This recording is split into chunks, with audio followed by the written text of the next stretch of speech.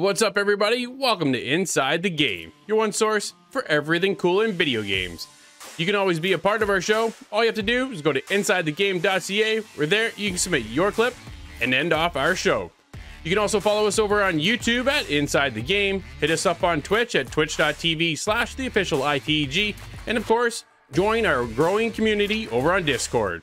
Now, what's up on this week's show? Well, here it is. It's the rundown. Top three skills in each skill tree in Assassin's Creed Valhalla. You and I have been about the only ones from the team playing this game because it's still, honestly, it's kind of more of a, a broken point than break point.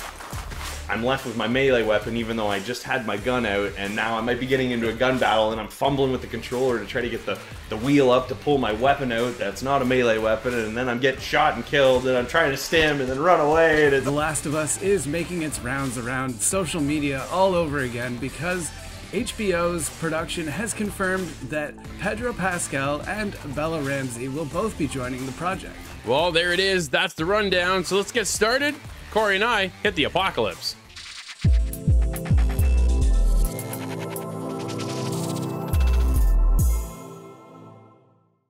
Well, Corey, let's see if we can survive this review. This is strange.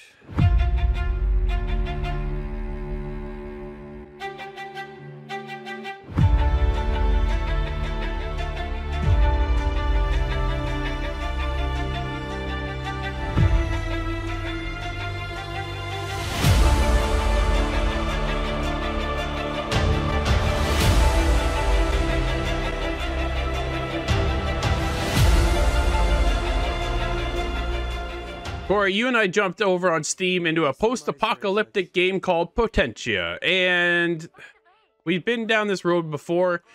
Basically, what's happened is an explosion kind of goes off in the environment and wipes out almost everybody. You know, typical from a post-apocalyptic uh, point of view. But some people va- evaporated, and then others just didn't. And you, that's, that's kind of the, the setup of the game. And then a few events happen along the way. But overall, Corey, I got to be honest, dude, this one was a struggle to play. There's a lot of issues here. The game still, it says work in progress. It's very much a still work in progress title, but it's it's been difficult to get through. It's it's not a long game by any means. It's only eight episodes. I got to six and then got a kind of a bug and it just broke the game. And I've had to re- restart the game three times to play it. So it's been a, a bit of a punishing go. How how have you made out? well, you know what? Let's kind of start off with how this all started for us. You you sent me over the trailer, and we got to look at this. Yeah. Potentia. It the trailer looked really cool. It kind of had this, you know, Division Two, Last of Us kind of vibes, right? Like you're kind of Yep. roaming around the streets. There's you know cars and litter scattered everywhere. It's kind of you know this bit of a wasteland, and you're kind of moving through. And it looks really good. The trailer make this game look really, really good. You know, there's some Yeah. combat involved in the trailer, so you kind of get a feel for a little bit of everything. And then you jump into this game, and you start to notice pretty quickly here that that little sign in the top left corner of the screen that says "work in progress" really means this is a work in progress. Because holy cow, it was it was difficult to get into. Let's just say the environment, you know, when you first get into the game, looks you know really good actually. I think the the overall environment you know, kind of is what immerses you in this game. But then you start focusing on kind of everything else, and you start realizing kind of where some of the holes are here. Like, you know, we look at some of the character models, especially the main character. It seems Yeah, very kind of blocky and chunky, and it's just you're you're just hoping for a little bit more because you kind of see how the environment looks, and you kind of hope that you know the rest of the graphics follow suit. And you know, it doesn't really matter how nice the environments look if they're empty. E- Whether it be there's not enough enemies or there's just no items. I mean, you walk into a grocery store and the shelves are all empty, other than two boxes of pistol ammo and then a grenade on a shelf, you know, farther down in one of the aisles. And it's just, it seemed like there was just some balancing issues here with this game. Like they wanted to put out a game that had, you know, a kind of an interesting story, whether it be, you know, a story that we've kind of seen done before in the past. They did their own spin on it, so you kind of have to appreciate it here. But I had a tough time getting over these voiceovers, man.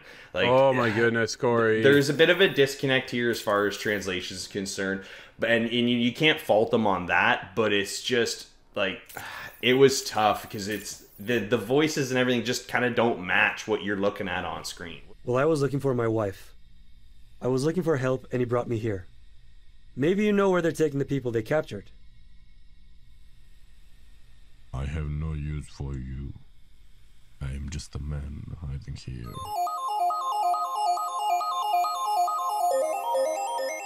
Oh man, the voice acting was just killer. It was so off-putting in the game.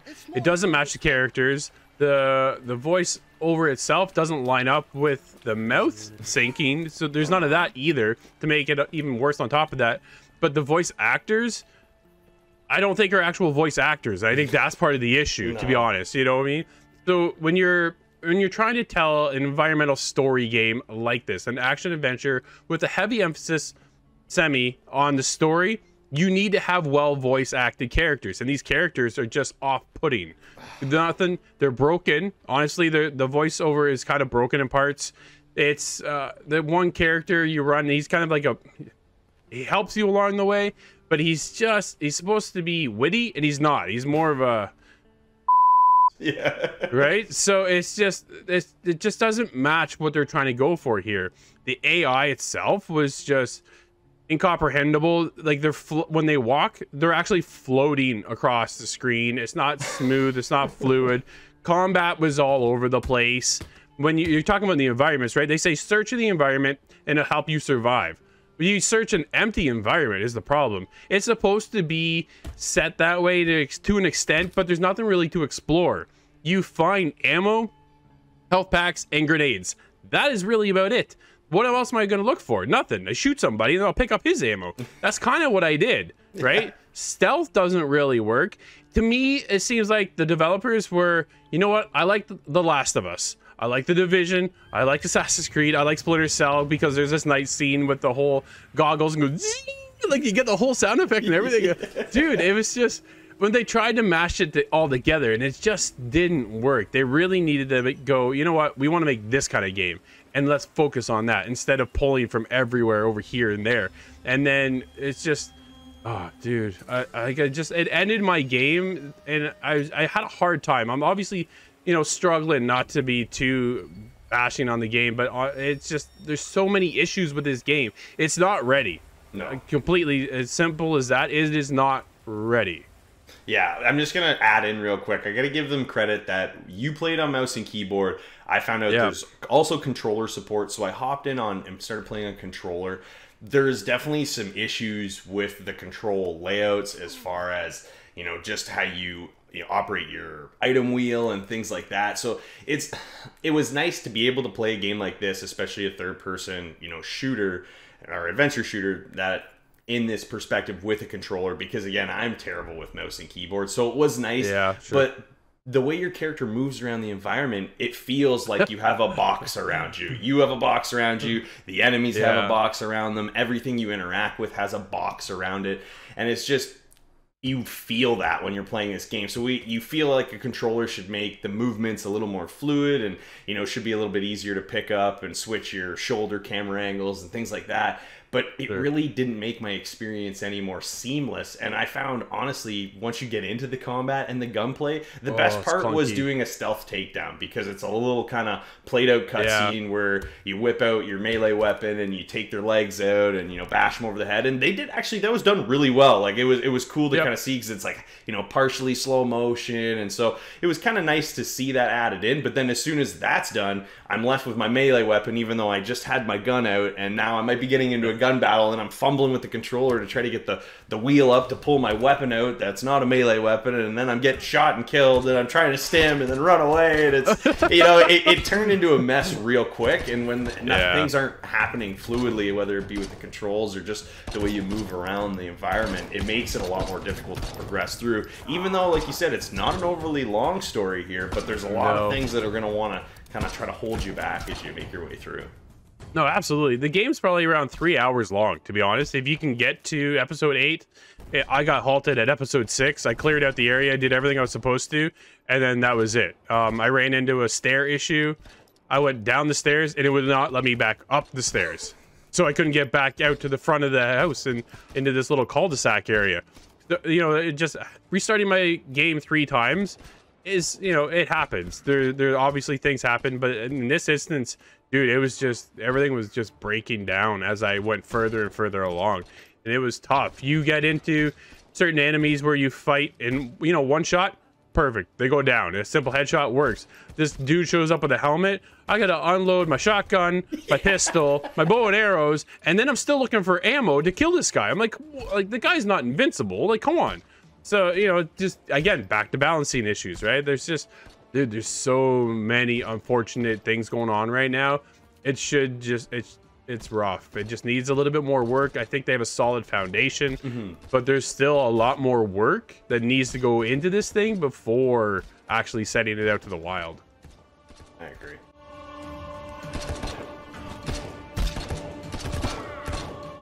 Corey, as I said, I had to come to a grinding halt. Unfortunately, I wanted to finish it. I just couldn't finish it just due to some technical bugs going on within the game. And besides the, you know what, the environmental artists, I think, did a fantastic job.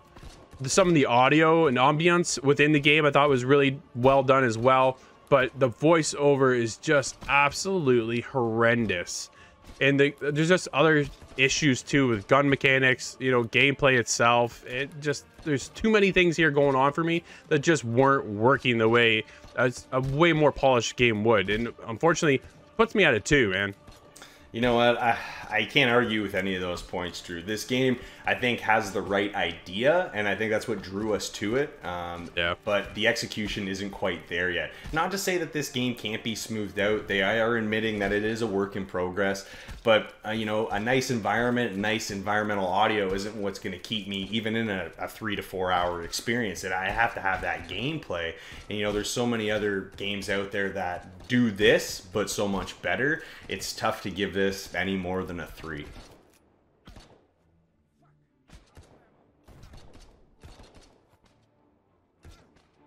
Great idea for a game, but unfortunately the execution was not there. Weak voice acting and clunky controls will make this short play feel much longer.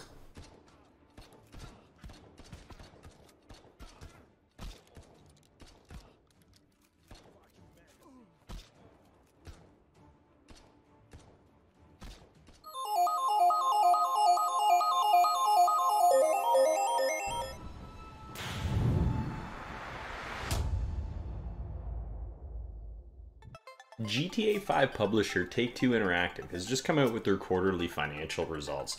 And let me tell you, they've sold over 140 million copies of Grand Theft Auto 5 since launch in 2013.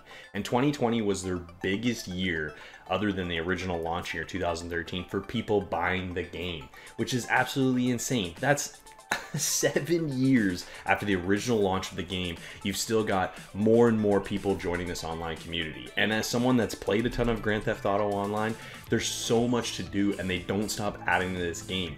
And the fact that, you know, they just keep adding to it is why there's more and more people jumping in. Every month of 2020 saw more and more people joining as each month went on, which is absolutely insane. But the best part is is the fact that they're also going to be bringing Grand Theft Auto 5 to the next gen consoles. That means you'd be able to play Grand Theft Auto if you bought it back in 2013 through three console generations Xbox 360, Xbox One, and now Xbox Series X, which is absolutely wild because the fact that you can even think that a game would even be able to last that long is crazy. And the you know they've done such a good job here with the online community. The fact that there's so much to do, there's there's no reason to get bored here. There's always something else to be doing. The fact that you can jump in with your friends, you know, the green versus purple alien battle was something that Rockstar and Take Two didn't even come up with. It was the community that generated this. So the fact that Grand Theft Auto 5 is going to be coming to the next gen consoles is awesome. It makes me a little wary to think when we're going to be getting Grand Theft Auto 6, but honestly, 140 million copies, I think they know what they're doing.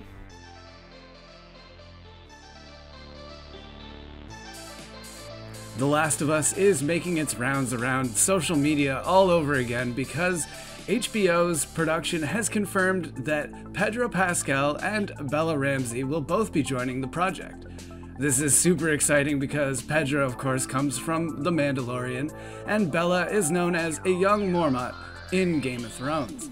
We don't know too much about this series so far, but having these characters cast as Joel and Ellie certainly makes this seem like it's gonna be another smash hit for HBO.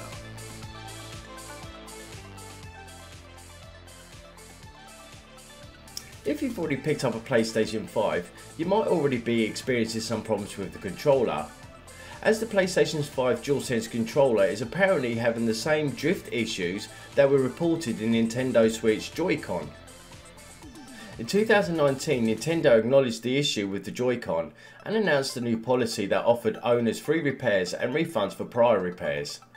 Last year, Nintendo's president formally apologised for the whole incident as they were aware of the flaw on release which prompted a US law firm, Chimicles, Schwartz, Kriner and Donaldson Smith, to file a class action lawsuit against Nintendo for Joy-Con drift. Well, they have now set up a questionnaire page asking PS5 owners to report instances of drift or if the console registers stick inputs even if the controller isn't being touched.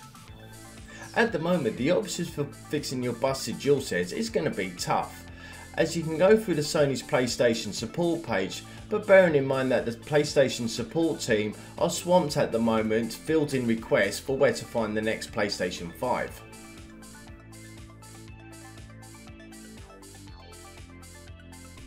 Alright, we got big news come from Ubisoft, and this is in regards to Rainbow Six Siege. They've hit over 70 million players. Now this game, it came back out in late 2015. So in five years, just a little bit longer than that, to have hit 70 million players, wow, this is incredible. I still play this game quite religiously, and to be honest and to be fair, they update this very regularly. Back in December, they did a huge update on PS5 and the Series X that gave it 120 frames per second and just an overall little slight graphic fidelity increase. But enough talk about Rainbow Six Siege, because yes, that is exciting, but what about this Rainbow Six Quarantine game? Yeah, we haven't heard much about this for a while, and we finally got some news. It is, in fact, delayed. What a shocker, just like most big games nowadays. But they did say that it is coming out later this year, so I'll predict, I don't know, November, like when it's the broke timber, maybe, broke November time. I don't know. That's what I'm predicting this game comes out, like all the other big titles. So by the end of the year, will we get Rainbow Six Quarantine? Well, not exactly, because they aren't really sure if they want to use that name nowadays with everything that's going on, you know, COVID and the whole pandemic. I think they're gonna change the name, and they kind of they put an article out saying that yeah, we uh, don't think we're gonna keep the same title. So moving forward, I don't know what it's gonna be called. I don't know what exactly they're gonna do to change it, but at any rate, I'm super excited for this game to come out later this year.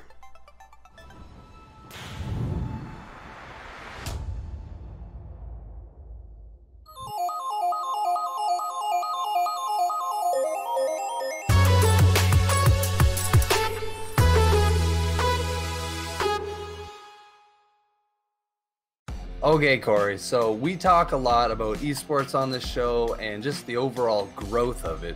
But something that's come up more recently and some insane numbers is the betting side of esports. Now, I actually was pretty unfamiliar with this, but you actually had some really interesting points and kind of a little history lesson to give us. So let's start with that.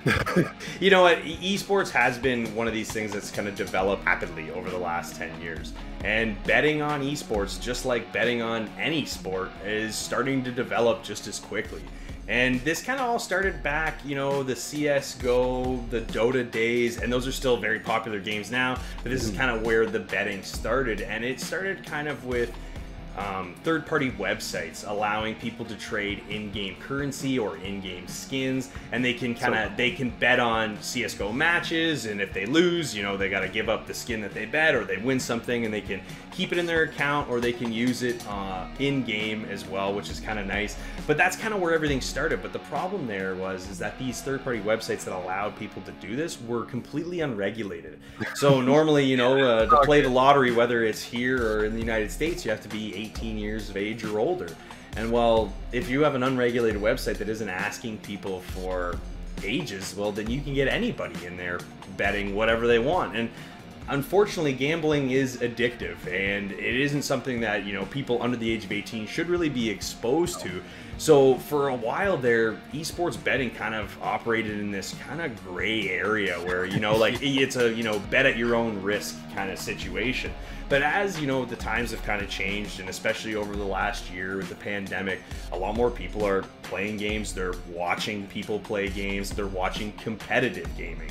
So it's only natural that now we're having more options for actually betting on esport. And now that you know we're coming into 2021, there's a handful of legitimate sports books out there that allow you to bet on esports, whether it be CS:GO matches, League of Legend matches, Dota's in there as well. So there's a lot of options, and and it's just a straight, you know, you pick the winner. You know, you pick this winning team over this team, and there's there's odds at favor there, and it's a little bit different. It's not necessarily as laid out as you know maybe an NFL game would be or an NHL yeah. game would be, right? Where you've got point spreads and things like that. Like there's a bit of a different environment when it comes to esports, right? Like you kind of need to understand who these players are on these teams and how long they've played these these games, these particular ones that they may be in tournaments for. You know, some teams may be together for five, six years, but they may have four or five new players. So these are all things you have to kind of take into account when you get into or start to look at betting on esports but it is becoming more accessible. And the fact that there's a lot more legitimate sports books out there because they suffered with not having sports in 2020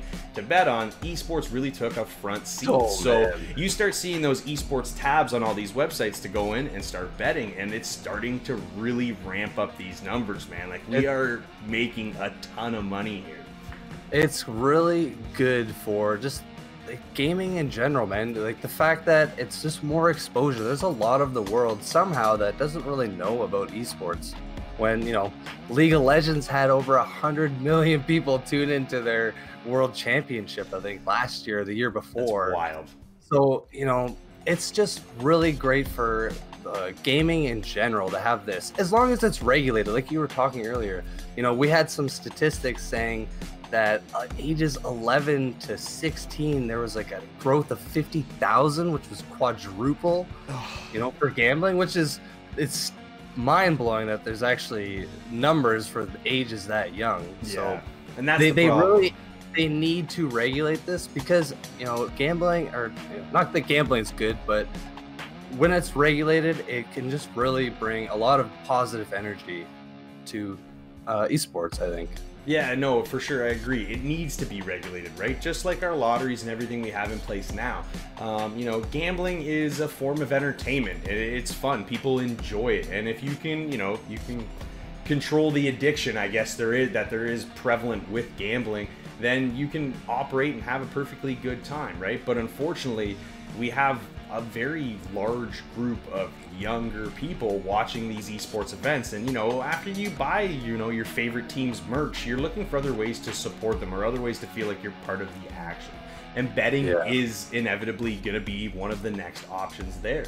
So the fact that you know we can do it it's awesome. I love the fact that there's growth here because competitive gaming is awesome to watch. We've been to a couple live events and it's mm-hmm. unbelievable. The atmosphere is wild. It's not like watching it on the computer. It's it's like you're at a real sporting event. It is a real sporting event. I mean, mm-hmm. like you said, League of Legends World Championship, you know, there's the Overwatch tournaments. You have a stadium full of people. So it's going to be really interesting to see as we move forward in this whole esports realm what other games are going to be added into being allowed to be bet on? Because uh, there's yeah, you know there's just the rumblings and the startings of fantasy esports right now which is wild. I mean you make a fantasy team of esports players like we do that with fantasy football and fantasy hockey right? But it's it, the fact that that's even something that they're starting to develop now is amazing. So honestly man moving forward i know gambling can be that you know you're riding that tricky line there but the fact that it's doing so well with esports and it is starting to take a forefront. People are going to start to realize that esports is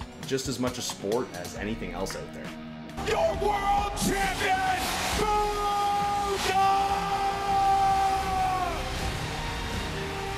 And let us know what you guys think by heading over to InsideTheGame.ca or over on our Discord. Let us know what you guys think about betting and gambling in esports.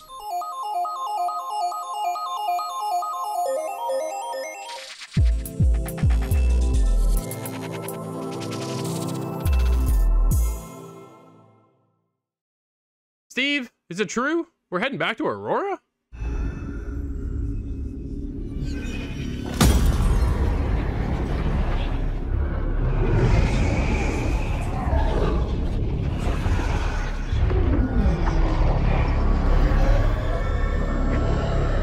Steve, it's not a rumor. We're heading back to Ghost Recon Breakpoint. Because the latest event is out, the DLC is here. We're talking about Amber Ruin. This is the latest expansion in the world of. I can't believe I'm saying this. Ghost Recon Breakpoint. Because, Steve, over the past year, you and I have been about the only ones from the team playing this game because it's still. Honestly, it's kind of more of a, a broken point than Breakpoint. That's correct.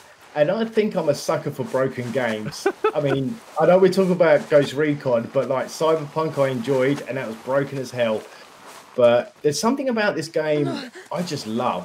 I don't know if it's about the open world. I've had a few glitches, Sure. um, but the stories I, I do enjoy, and it, and like the cutscenes and the like, I say the vehicles, the mechanics of the guns and things, which I'm sure we'll probably talk about a bit Yeah. more in uh, later on but I do like this game, and um, I'm enjoying this. I do enjoy it, but it's fun, but very frustrating. Well, that's just Big the time. part, right? It's still frustrating because it's oh. still the same game from launch. That's the problem. I think what they've done is they've got a solid foundation, but they've never fixed the cracks within the foundation of the game. So we're still running into countless bugs. Well, so basically, Amber Ruin right now is that when you launch the event, and the whole purpose because why we went back to this event is because of Rainbow Six is attached to the event. And if you know ITG, we're massive fans of Rainbow Six. With this event, you earn skins. The skins you're gaining, as well as guns, but the skins are what really kind of drew me to it. We get Ash, we get Finka, and we get Thatcher. You work with these three individuals from Rainbow Six and Legion as the handler of the entire event but you work with them to figure out what's going on with this Amber Ruin. Amber Ruin is a gas that's been dispersed across Aurora. And we're there to figure out, with the help of Ash, Finka, and Thatcher, what's going on, why is it there, and how do we get rid of it. But Yes. Steve, it's still it's still the same old thing. Okay, we start a mission, Steve, Yeah. a- and it's kind of like sorry, it's kind of like the same kind of thing. Go and speak to someone first, and then it starts the mission off.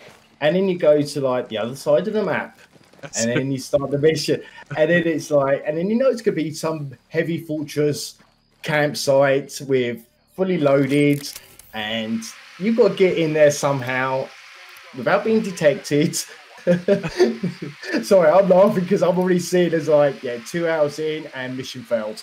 But like, yeah, um, it, I find that bit the frustrating part. But do you know what I mean? It, it, I do like the game, but oh my god, it's frustrating. And I sink so much hours into this, and it's just like, it, it's still the same game from launch. That's what we keep. That's the biggest problem. They haven't fixed the broken mechanics of the game. Where I was in one level and one of the people were actually in a crate and they're popping in and out of this crate as I'm trying to go and get this this mission solved and that kind of stuff. And Ash is there for a purpose. She's supposed to breach the door. You go to the door, it hit. So we're on Xbox. I hold Y, and she goes, "Okay, Ash, you're up." All right. So then Ash responds with, "Okay, let me know when you're ready." Uh, yeah, I'm ready. So how about you go breach the door? And nothing happens to the point where both of us, Steve, are throwing a grenade at the door to breach it instead of using Ash. So we have all these abilities with Thatcher, Ash, and Finka, and the only one that's useful is Finka, because if you get shot, she just clicks her button and heals us. It's just, yeah. uh, why is that a thing? Yeah, I don't know. And it, do you know what? And it, to be honest with you, I know this is the third event, and I've had the same issues on the other two events. It's it's the same kind of repetitive thing. Yes, the story's different, different characters, but the principle is still the same. You still go to one checkpoint, talk to someone to start the mission, Sure. then go to the other bit, and then you start. And it's and it is the same kind of thing.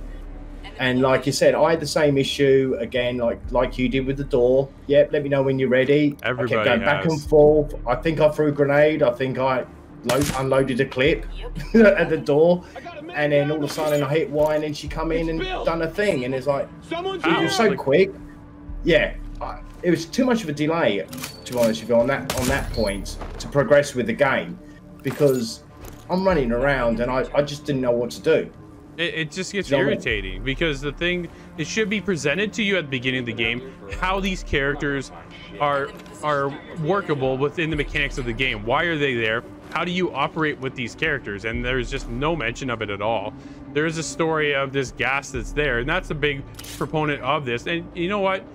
I kind of found it to be a little odd the fact that we're all in this massive pandemic right now in real world, and we're wearing a mask, and now we go to Auroa and Ghost Recon and we put on another mask. Like, man, like I think your timing's a little off on this one in particular, but overall, getting back into it, Steve, I kind of got that bug. Like, I got hooked again getting back into this game. Dude, I'm coming up on 100 hours now in this game, and it's just like, really? Again, am I coming back to this thing? And it's still facing the same issues. And that's the problem. I think the story's good. The gunplay has always been solid for me. I love the gun mechanic within the game, but it's just the broken parts behind it prevent Yeah. me from actually enjoying what I was really hoping would be a fantastic game.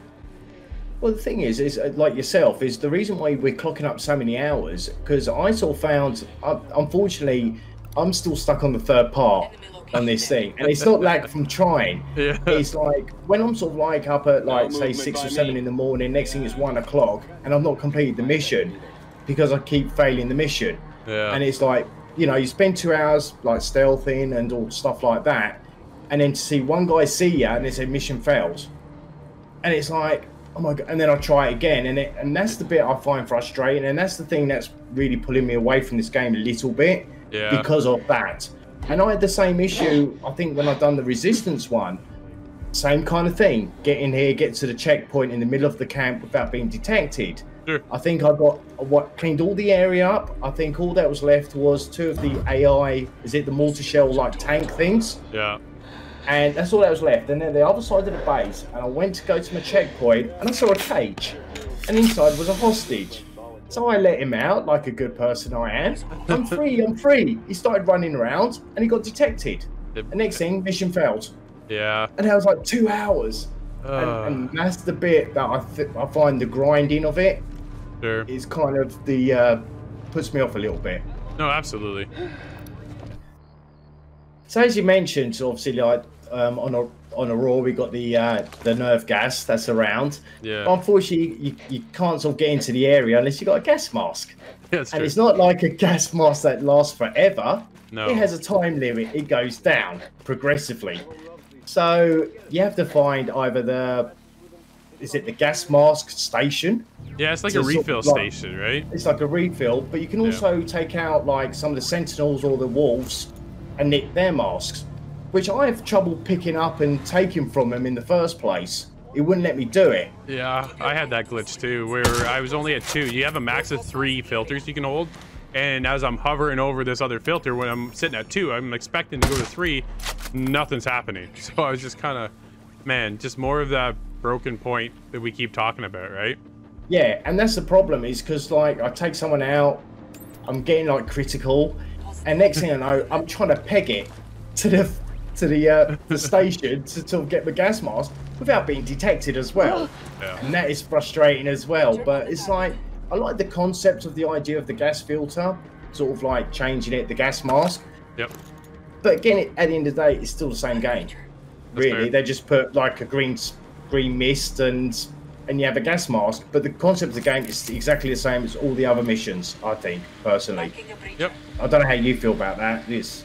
No, it's very true, right? It's still a very rinse and repeat method. Um, to me, I, don't- I don't mind it. I like that's the part of the grind and the loop that I like, is to be able Yeah. to go in there and, you know, I use my handgun for 90% of the mission, so I'm able to get in there and sneak around and pick people off and use that. I got the Sam Fisher ability, right? So I've got the fourth echelon thing going. That's my play Yeah, style. so Yeah, sorry, I never finished that Sam Fisher one, so I never managed Oh. to get that. I think I was still stuck on that hostage one. That's why. I think that's why I kind of gave up on it on that one. And it was just like, yeah, too much time. too much time. yeah, but it's still again, it's more Ghost Recon, which never is it really a bad thing. It's still sticking with the formula. If you change it up too much, then fans are really gonna kind of harp and gripe about it, right? But they've introduced Yeah. the gas, and that's the newest event. Overall, yeah, do I like it? I think it's decent. I don't think it's a solid Yeah. expansion. I think it's okay. So, Steve, why don't we wrap up Ghost Recon Breakpoint Amber Ruin event? For me, a good time, just not the greatest time. The abilities of Thatcher, Ash, and Finka just aren't plausible. They, they just they just don't work, and it's just baffling to me how you launch this event and that stuff doesn't work. Fortunately, dude, I got. uh, I'm gonna give it a 5.5. It's just not working the way it's supposed to. Yeah. Well, I'm a little bit different than you. I mean, obviously, I don't play Rainbow Six as much as you do. And yes, I know the characters, but to me, they're just like another AI for me. Yeah. Which, bearing in mind also, the first two events then never had AI, I don't think. So I was grinding by myself. It's only recently they brought out the AIs for help, Yep. like the extra teammates. Um, but for me, you know, I'm, I'm going to give this a seven. I do like the game, but to be honest with you, with Division 2 and the same kind of thing, a bit more faster pace. So I'm going to stick with the seven. Nice.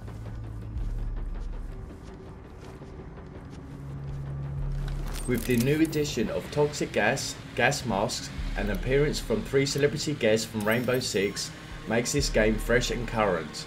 But it's still the same as the bugs and glitches have never been fixed since launch.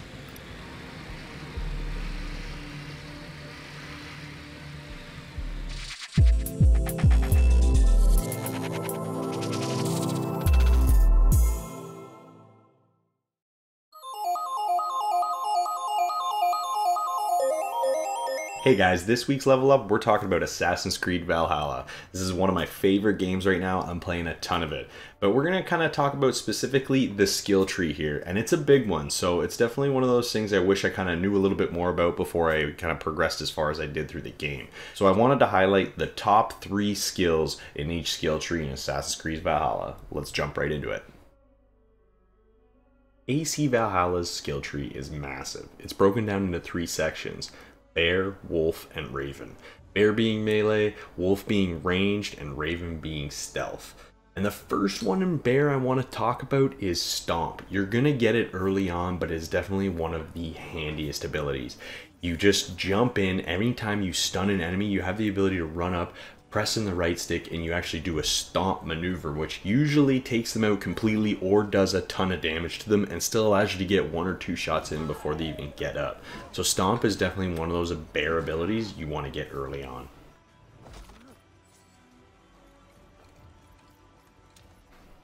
Dual swap is the next skill in the bear tree. This one's really handy because there's so many weapons in AC Valhalla to choose from that every once in a while you're going to want to switch on the fly and the ability to press the right trigger and click in the right stick and do that mid battle is really handy because depending on which weapons you have and which hand they're in, you do get different attacks. So it's always nice to kind of customize the way you're playing these battles out. And finally, the last skill on the bear tree I really push for is all the way up on that far left side, and it's heavy dual wield. You find so many great two-handed weapons in this game, it's hard not to want to use both of them at the same time. So the fact is, this allows you to use a two-handed weapon in both hands. There is some modifiers to the stats because you are using them single-handedly, but the best part is, is the fact that you can pair something like a spear and a two-handed axe together, and just the damage is absolutely devastating. First skill in the wolf skill tree is Battleground Bolt. I found this one to be the most handy, especially when there's a ton of enemies on screen at the same time.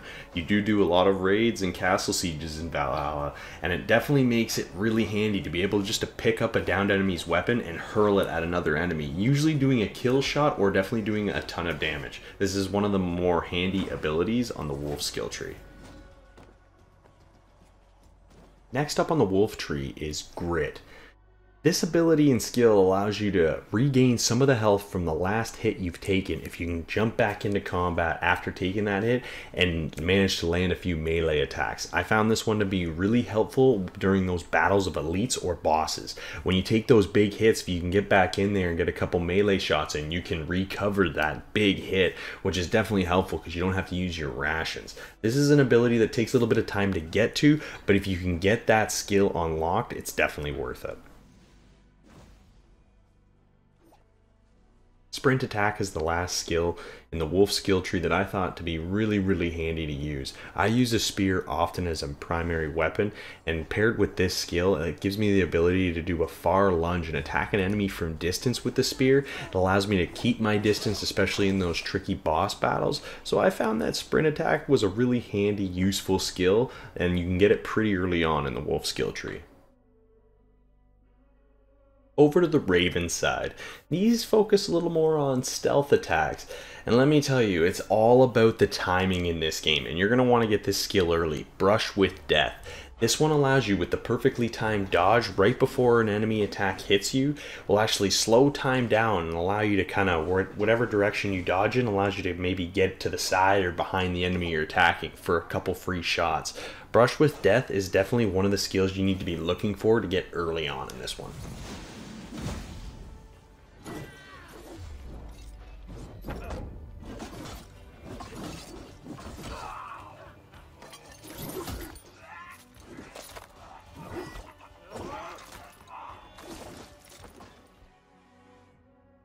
The next skill in the Raven tree is Breakfall. I found this one to be really handy because you know what? I jump off things by accident in this game all the time and take a ton of fall damage for it. So when I discovered Breakfall, this actually does an auto roll for you on any large jumps as soon as you hit the ground so you don't have to do it yourself or think about it. You're still going to take some damage, but it's definitely reduced. This is just one of those handy skills that you can just always have on you.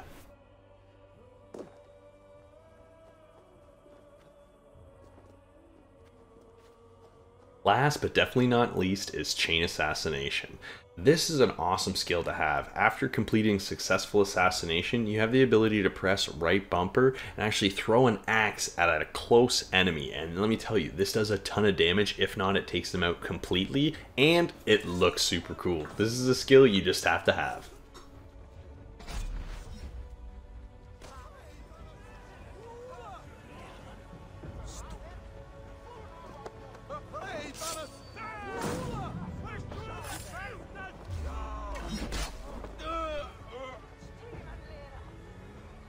Have it, guys. Those are my top three skills in each section of the AC Valhalla skill tree. It's huge. There's a ton of customization here. These are the skills that I thought really worked well for my play style. It's always up to you to decide what you want to do with yours, but I think these are definitely ones you should be looking at early on.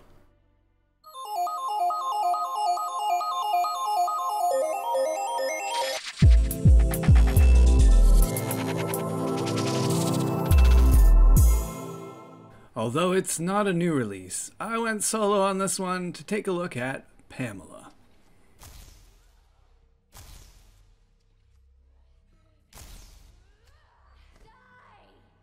Today, I'm here to talk about a game on Steam. This one is Pamela. Now, it is kind of under known and not a super well broadcasted game, but I took a look at this one and I just want to touch on a few things that I think are interesting and maybe just a few things that I think are slightly disappointing about this game.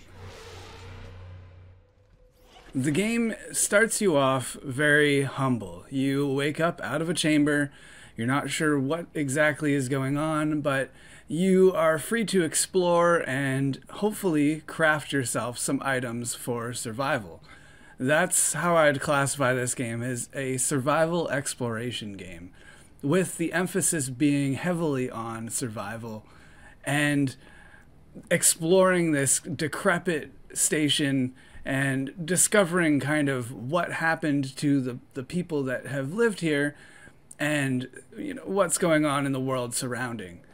It's a very dark game with a lot of very mature undertones that is probably going to be lost on the younger gamer you sort of have to spend a lot of time in this world to really discover what's going on. And the draw is always finding little scraps, whether it's audio logs or computers to read from, to piece together exactly what happened in this station. And the news is grim. As you push through the station, you come across several different kind of biomes or different areas that uh, were useful at one point. There's a lot of residential area. There's the cryogen lab and the just different genetic scientific experiments going on. And there's a lot to explore, a lot of corners, a lot of destruction that has happened in the environment that kind of impedes your progress through the area.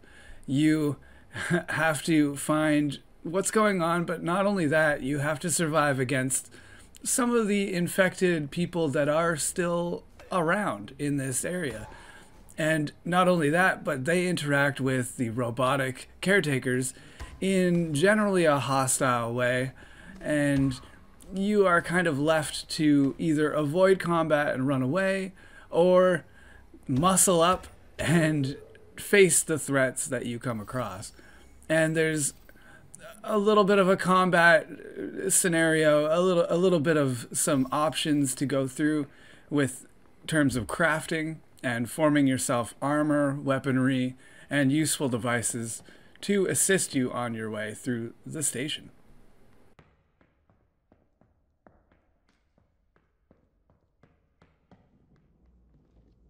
There are a few things that I, I think could have been worked on just a little bit more, and it would have improved the experience quite a lot. There are certain doors that you come across that are locked, and you have to hack your way into the computer system through these mini games that are generally challenging. And there's just a little bit of bugginess associated with that. And it's very unfortunate because there isn't a whole lot of action to be had while you're exploring. And these are some important points, but it's lost a little bit to just the the kind of cluttered environment and the difficulty interacting with the different systems. I feel like it wasn't explained very well or explained properly in general how to manipulate some of these computer items and how to unlock doors and areas there is a lot to do with repairing certain systems that I feel wasn't explained, and that can leave the player kind of hopeless, unsure of what they're doing or where to go, and it causes a lot of backtracking and a lot of exploring the same area kind of over and over again to discover what you've missed. And sometimes that can be rewarding, but I found it personally kind of frustrating in this setting. I very quickly wanted to get out of certain areas and explore more visually stunning areas of the station. And it was just, I was kind of boxed in by these issues. In addition to that, there is a little bit of clipping issue going on with any of the combat. Um, a lot of the motion when you're running through these areas, some of the visuals get a little distorted. And I think that's just an optimization issue because the game otherwise is uh, pretty competent. I've spent a lot of time exploring this this game and it would be easy to get lost explaining some of the details, but I'm going to try and skip over that. In summary, it's a very interesting idea. I think the premise behind this game is strong. It's a beautifully crafted world when it's light, when it's dark. There's lots of eeriness and mystery to it. The story, I wish, was a little bit more emphasized and maybe a little bit more direction on top, but it is deep, it is interesting to get into, and it was revealed in a, pretty nice manner that left me feeling rewarded for exploring the station. Uh, again, I wish the combat was a little bit worked on, uh, maybe a little bit more emphasized in certain parts and backed off in others, but I think that's a stylistic choice for this game. I was pretty satisfied, and visually, this game looks great. So that leaves me with a 7 out of 10. Pamela has a very strong premise and a great environment to explore. Unfortunately, the lack of direction and sloppy combat hold this title back from being a smash hit.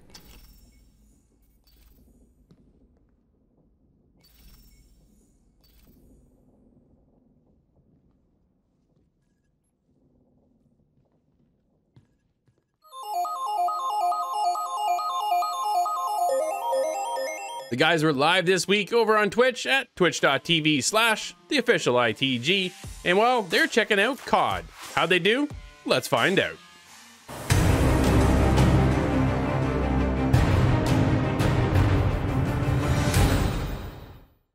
Hey guys, this week Adam and myself are jumping back into the world of Warzone and we're checking out the new Rebirth Island. This one gets pretty intense, so make sure you watch to the end. Let's check it out.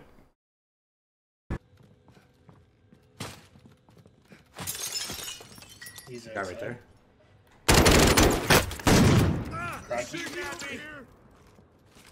Stand up again. Stand up again.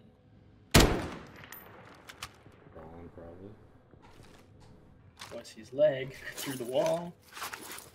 I got one bullet left for the sniper. Anyway. Tagged him a couple of times. Enemy RCXD detected. From the oh no way! I missed him. I hit him. I've been hitting him this whole time. Every time he turns around, I tag him.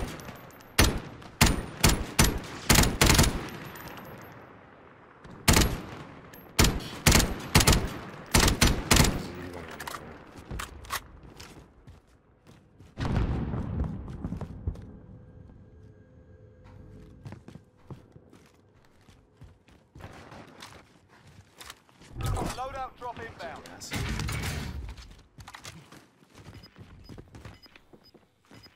Time's up. Oh. Uh,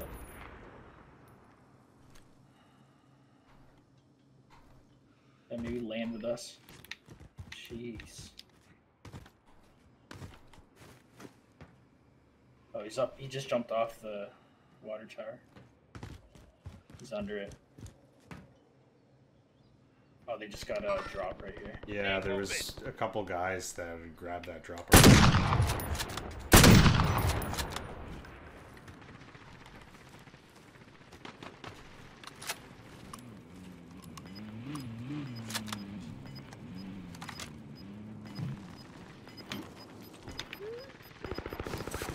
Right, right there. You see him? Yep.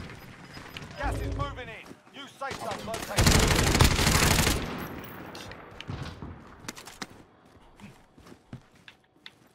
Enemy team is tracking your position. Fire There's a guy right below us. He's coming into the yard, I think. Enemy soldier incoming.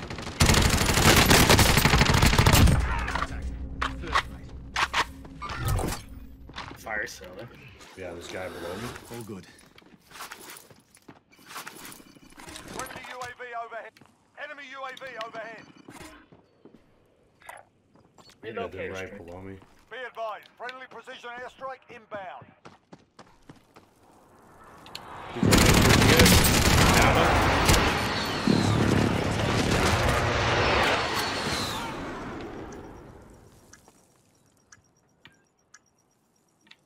Fire sales done. Prices are back to normal.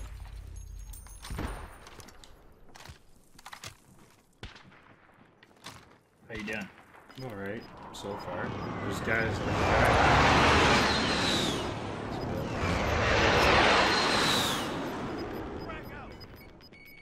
We've got gas moving in. They're in there. Hostile dropping into the area. Watch the skies.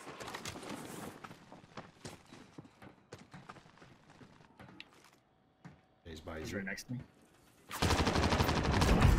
Nice. User. Yeah, there's a satchel. Guy right landing there now. over by you. Yeah, I got one. He's got a mouth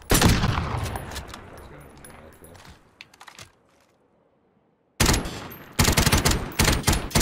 Oh, his boys died. Oh, on the roof. I'm jump down here and get a fire! something to get this guy off the roof.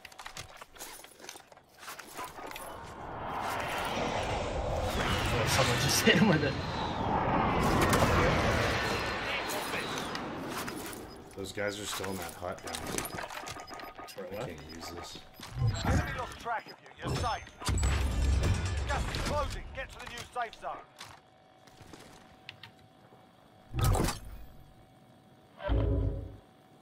Target marked. Call for fire. This is Striker 3-1, good copy. Strike inbound.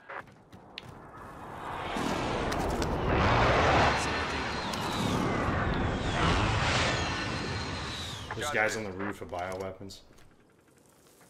Where do we gotta go? Ugh. Drop them down. Wanna go down and around? Or go no? Need high caliber rounds. Need high caliber rounds. Sorry, bro. Don't have, don't have any for you. He wants us to buy some. oh, I've got. uh Where is he at? I got munitions. I got munitions actually. Oh,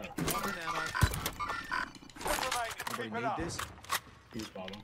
No worries. Okay, coming your way. Oh, oh yeah. There's guys in here. Peeking out. Yeah, they're on me. Gas is moving. Taking fire. They're down.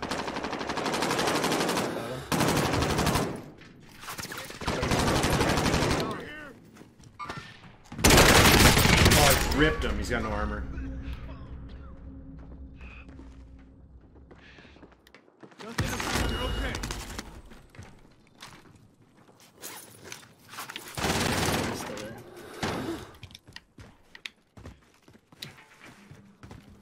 Oh, whoa. Where was he? Oh, no way. There's all three of us are in there and he got me. Oh man, I could not. He find was hiding somewhere.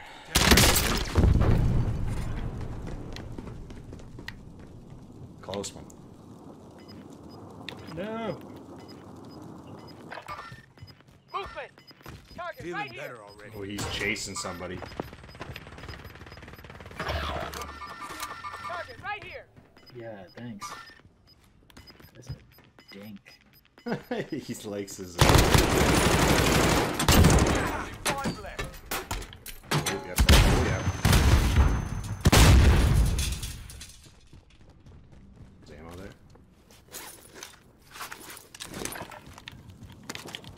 Give me those.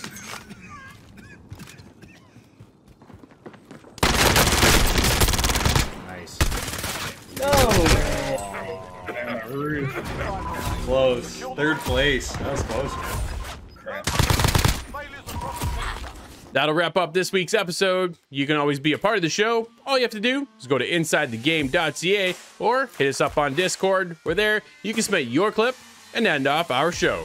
This week, we've got Puma with a sneaky little shot, one bullet, two targets. Check it out in Rainbow Six Siege.